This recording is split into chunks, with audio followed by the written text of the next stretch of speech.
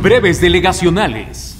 La delegación Cuauhtémoc iniciará un programa para regularizar locales comerciales que utilizan mobiliario en vía pública, principalmente en las colonias Roma, Condesa, Cuauhtémoc, Juárez, Centro y Santa María la Ribera. Los establecimientos tendrán un periodo de gracia de 60 días para regularizar sus permisos o de lo contrario, la delegación procederá a desmantelar los toldos y no permitirá la instalación de sillas y mesas en los locales. Así lo explicó la directora jurídica y de gobierno en Cuauhtémoc, Zuleima Huidobro, quien señaló que existen más de 22 mil establecimientos comerciales registrados en la demarcación, de los cuales 2.126 están catalogados como de impacto vecinal y 577 de alto impacto debido a que venden alcohol al público.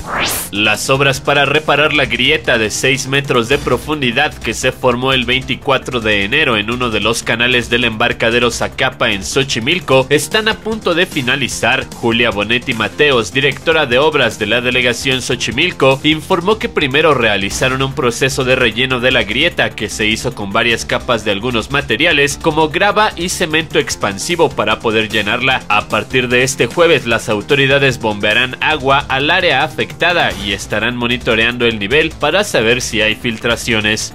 Las delegaciones Xochimilco, Cuauhtémoc, Iztapalapa y Álvaro Obregón en encabezaron durante enero el semáforo delictivo en la Ciudad de México. Datos de la organización denominada Semáforo Delictivo precisan que estas cuatro delegaciones están en luz roja en homicidios, extorsión, lesiones, violación, robo a casa, habitación, vehículos y negocios. Este semáforo indica también que la capital del país ocupa a nivel nacional el lugar número 10 en homicidios, el sexto en secuestros, el cuarto en extorsiones y el número 3 en robo de autos.